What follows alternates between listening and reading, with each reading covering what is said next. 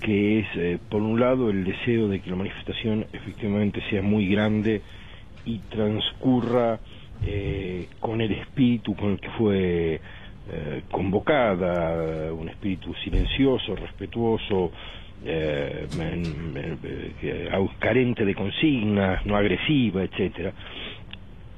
Por otro lado, creo que el éxito de esa manifestación será la evidencia de, una crisis que no sé muy bien cómo se va a resolver, que es la crisis en la que estamos metidos a partir de la denuncia de Nisman, de la muerte de Nisman y de las reacciones del gobierno nacional sobre, sobre ambos asuntos. Este, eh, veo entonces eh, con entusiasmo la posibilidad de que la conducta ciudadana eh, se convierta en un, en un pedido de límites a un poder que está un, un poco actuando enloquecidamente por otro lado, eh, me gustaría que todo esto no fuera necesario, pero creo que es imprescindible. Alejandro, ¿cómo estás? Maru Dufar te saluda. Maru, buen día. Buen día. Mm, estábamos pensando y tratando de entender un poco lo que pasa en, en términos de, de, que este también es un año electoral y que eso no se puede perder. Yo recordaba las palabras de Elisa Carrió mm, hacia fines del año pasado, noviembre, por ahí en una nota que le hice para el diario, y ella decía, el kirchnerismo se va tirando el mantel. Eh, y hablaba de una interna de, del peronismo y de, de, una pelea, digamos, que, no, que el peronismo no puede dejar bien el poder. una tesis de ese estilo mm, presentaba Carrió. ¿Vos compartís algo de eso? ¿Cómo, analizarías políticamente lo que está pasando? Bueno, eh, diría que en, en, un trazo grueso podría compartir esa interpretación de, de Carrió. Este, creo que la única vez que el peronismo disputó el poder eh, en condiciones, por así decirlo, normales, fue la interna de Menem con Cafiero, este, y que seguramente lo que, lo que permitió que se tramitara de ese modo fue que Cafiero fue derrotado y asumió la derrota con, con gran altura y con mucha esperanza de que eso fuera una, el inicio de la redemocratización del, partido, cosa que no ocurrió.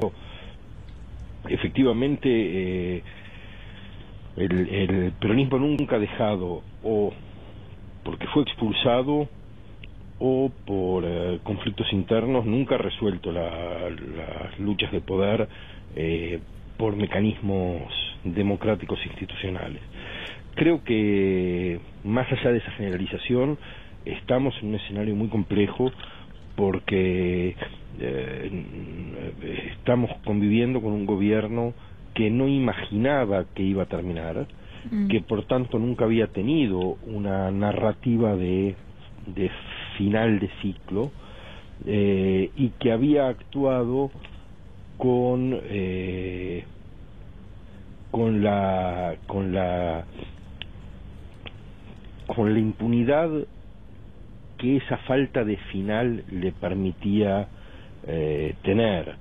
Impunidad no solo en eh, cuestiones vinculadas con la corrupción, que sin duda son muy graves y muy serias, eh, pero sino también vinculadas con los enfrentamientos, con la gestión de lo cotidiano, con, quiero decir, hay mucha gente dañada por conductas de un grupo que desde el poder pensó que siempre sería el titular de ese poder y que por tanto podía hacer cosas malas a otros.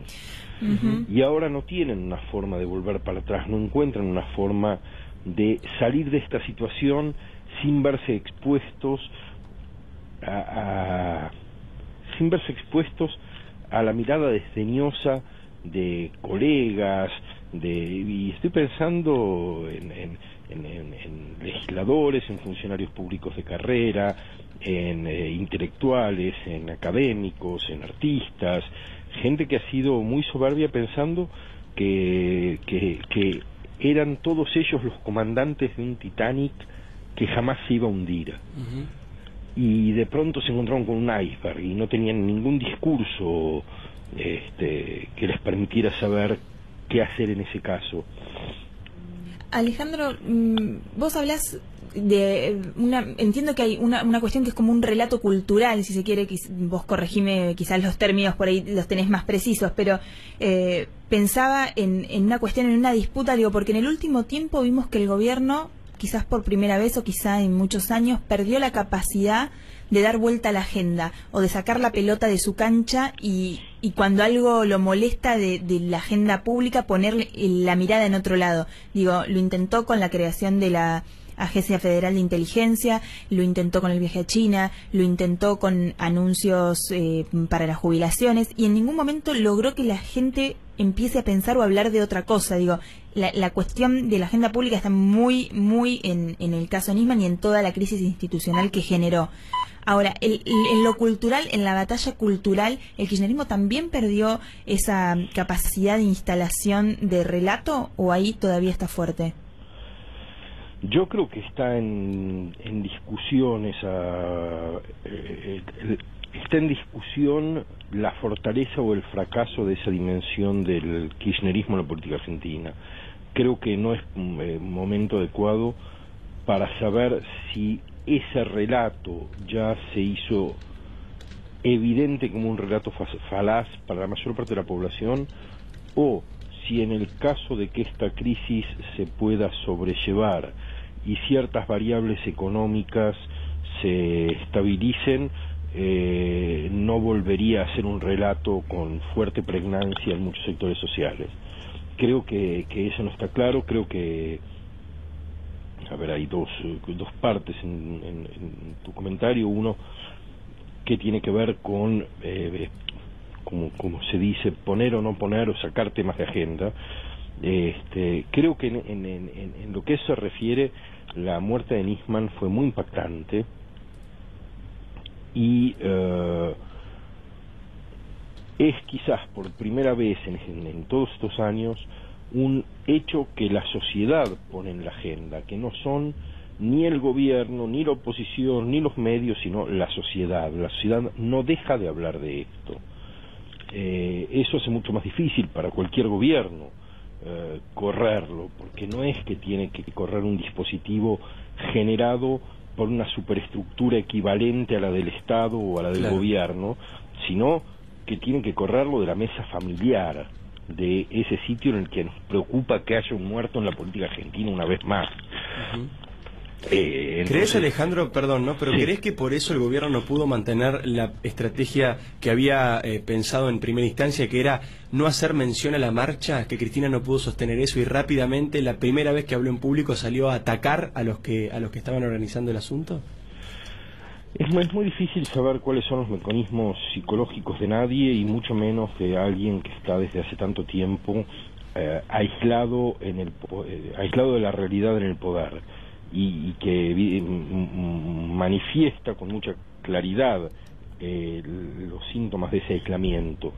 Eh, yo creo que hubo eh, en alguna gente del gobierno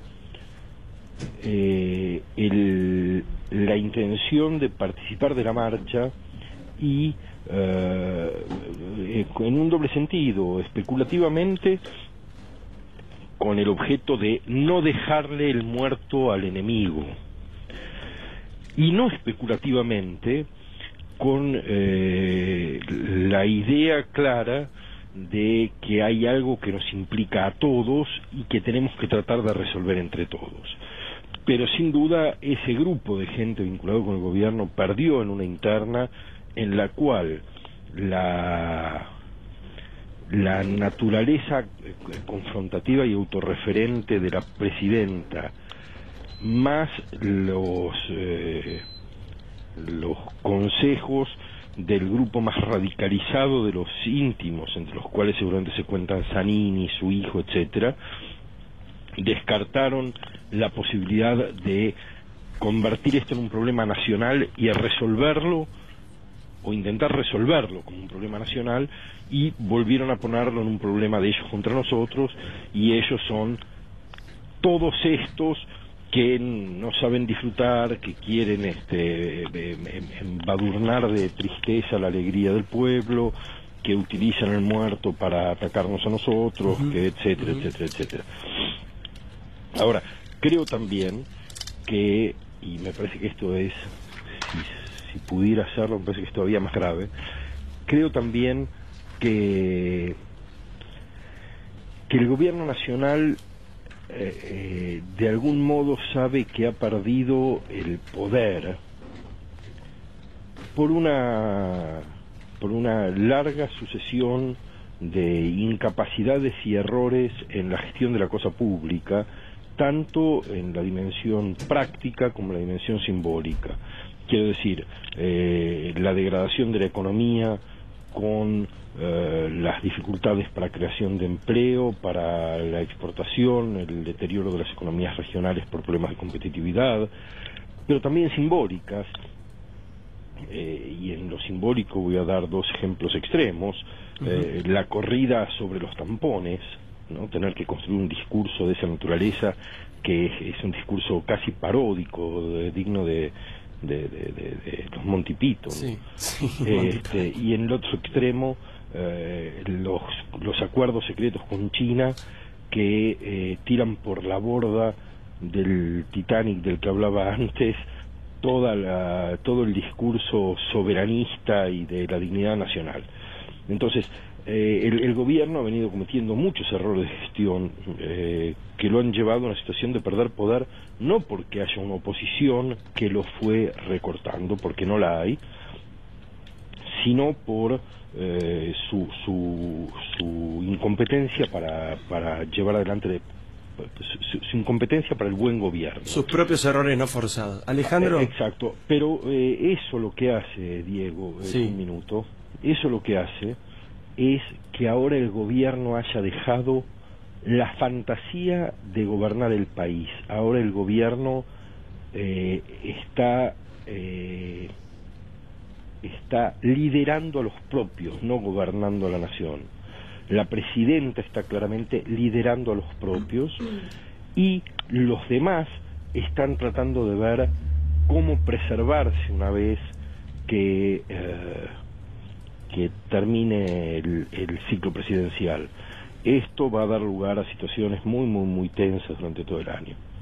Alejandro, sí, muchísimas gracias eh, por la comunicación con nosotros y por tus palabras. Hasta luego. No, al contrario, gracias a ustedes. Era el ensayista Alejandro Katz. Eh, mil disculpas al servicio informativo, nos pasamos de las once y media. Sí, ahora mismo, Mitre informa primero.